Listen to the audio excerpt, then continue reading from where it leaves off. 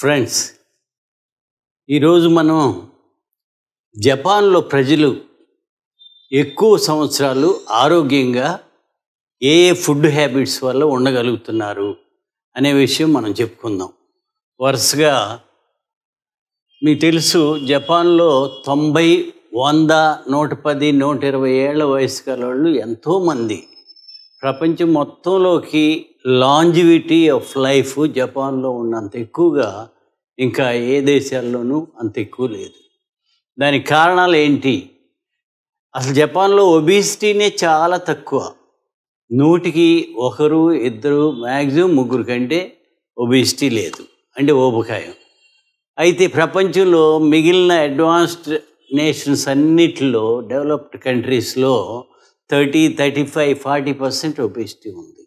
Including మన కంట్రీలో కూడా obesity twenty five percent thirty percent ఉంది.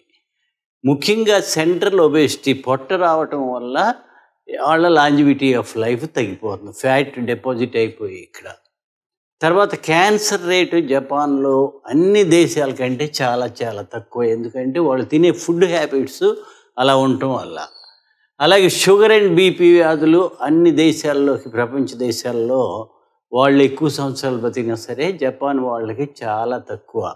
వీటన్నిటికీ కారణాలు చిన్నప్పటి నుంచి పిల్లల్ని ఎక్సర్సైజ్ చేయించడం స్కూల్స్లో ఆటలాడించడం అసలు స్కూల్కి వెళ్ళటానికి ఎక్కువ సైకిల్స్ మీద వెళ్ళటం ఎవరికి వాళ్ళు సైకిల్ తొక్కుంటూ వెళ్తే కొంత ఎక్సర్సైజ్ అక్కడే అయిపోతుంది. అలాగే చిల్డ్రన్కి ఫుడ్ హ్యాబిట్స్ చిన్నప్పటి నుంచి స్కూల్లో పెట్టే ఫుడ్ తోటి టీచర్స్ ఫుడ్ హ్యాబిట్స్ నేర్పిస్తారు. These the these are the right foods to eat these are the nutritious food these are the bad foods don't eat this అని చెప్పి చెప్పడం జరిగింది. ఫుడ్ ఎడ్యుకేషన్ ఎక్కువ అనమాట అక్కడ. టీవీలు ఛానల్స్లో చూసినా రేడియోలో చూసినా ఫుడ్ గురించి ఎక్కువగా చెప్తూ ఉంటారు. కానీ ఎక్కువ ఫుడ్ మాత్రం వాళ్ళు తినరు. వాకింగ్ ఎక్కువ చేస్తారు ఎక్సర్సైజ్ ఎక్కువ చేస్తారు. ఇంకోటి ఏంటంటే వాకింగ్ చేస్తూ ఫుడ్ తినటం అనేది జపాన్లో ఎవరైనా సరే చూస్తే నవ్వుతారనమాట తర్వాత పబ్లిక్ ట్రాన్స్పోర్ట్ సిస్టమ్ బాగా చక్కగా ఉండటం వల్ల ఎక్కువ మంది చకచక ఐదు పది నిమిషాలు నడవగానే దగ్గరలో ఉన్న రైల్వే స్టేషను బస్ స్టాండు వీటికి చేరిపోయి అక్కడి నుంచి ఎంత దూరం అయినా సరే ఒక ఇరవై నిమిషాల్లో ప్రయాణం చేయగలుగుతారు. సో అక్కడ దాకా నా పది నిమిషాలు నడవటం వల్ల రోజు పొద్దుపూట పది సాయంకాలం పది మధ్యాహ్నం పది నిమిషాలు నడిస్తే ఆటోమేటిక్గా వాళ్ళకి ఎక్సర్సైజ్ అయ్యి వాళ్ళు ఓబకాయం పెరగకుండా వాళ్ళకి ఫుడ్ హ్యాబిట్స్ బాగుంటాయి. They don't eat while walking. Then private vehicles తక్కువ. పబ్లిక్ ట్రాన్స్పోర్ట్ మోర్ ఎఫిషియెంట్గా ఉండటం వల్ల తర్వాత ఎక్కువ జనాభా ఎక్కువ ఉండటం వల్ల జపాన్లో వాళ్ళకి ప్రైవేట్ వెహికల్స్ తక్కువ and they are very expensive. ప్రైవేట్గా మనం ఒక కారు ఓన్గా మెయింటైన్ చేయాలంటే ఎక్కువ మిడిల్ క్లాస్ పీపుల్ అసలు ఎఫర్ట్ చేయలేరు బాగా సూపర్ రిచ్ అయితే కానీ ఒక కార్ని ఎఫర్ట్ చేయలేరు.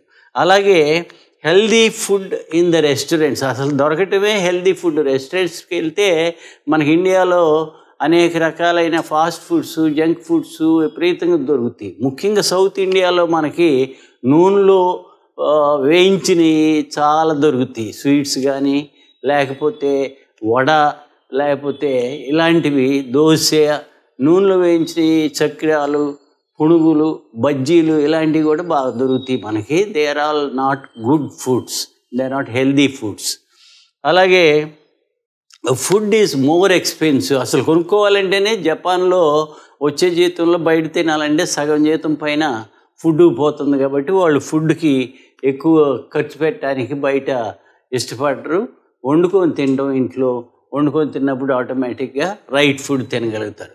అలాగే వాళ్ళది portion size and plate size very small and వాళ్ళు కప్పుల్లో కూడా చిన్న చిన్న కప్పుల్లో కాఫీలు తాగటం వల్ల అలాగే they most of them eat less than two thousand two thousand five hundred calories కంటే రెండు వేల ఐదు వందల క్యాలరీస్ కంటే తక్కువ తింటారు. అండ్ సాఫ్ట్ డ్రింక్స్ ఉన్నాయి చూసారా? కూల్ డ్రింక్స్ వీటి they say no to all of them. అలాగే గ్రీన్ టీ ఎక్కువగా తాగుతారు. గ్రీన్ టీ తాగటం వల్ల ఎన్నో యాంటీ ఆక్సిడెంట్స్ తర్వాత క్యాన్సర్ ప్రివెంటింగ్ పదార్థాలు తర్వాత అసలు ముందు క్రేవింగ్స్ అనేవి మనకి రావు. గ్రీన్ టీ తాగటం వల్ల ఎన్నో ఉపయోగాలు ఉన్నాయి. ముఖ్యంగా గ్రీన్ టీ ఫ్రీగా కూడా రెస్టారెంట్స్లో సర్వీస్ చేస్తూ ఉంటారు. వాళ్ళు మధ్యాహ్నం భోజనం చేసేటప్పుడు కూడా పక్కన గ్రీన్ టీ పెట్టుకొని తాగుతుంటారు. వేరే ఇతర దేశాల్లో సాఫ్ట్ డ్రింక్స్ షుగరీ డ్రింక్స్ ఎక్కువ పెట్టుకు తాగుతుంటారు.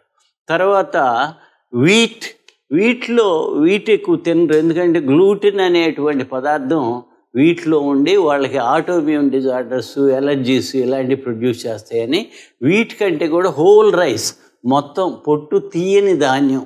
అంటే ముడి బియ్యం ఎక్కువగా తినటం వల్ల వాళ్ళకి హెల్త్ బాగా ఉంటుంది. అలాగే క్విన్వా అనే ఒక రకమైనటువంటి ఆ, పంట వాళ్ళకి ఎక్కువ పండుతుంది. సో క్విన్వా ఎక్కువ తింటారు. అలాగే ఫెర్మెంటెడ్ ఫుడ్స్ అంటే పెరుగు కానీ తర్వాత పచ్చళ్ళు పచ్చళ్ళు మనలాగా ఆయిల్లో వేసుకొని కాకుండా వాళ్ళు ఏం చేస్తారంటే కూరగాయ ముక్కలు తరిగి ఒక యాసిడ్ లాంటి దాంట్లో ఒక నిమ్మకాయ రసంలో ఇలాంటి దాంట్లో వేసుకొని తినటం వల్ల వాళ్ళకి ఆరోగ్యం బాగుంటుంది.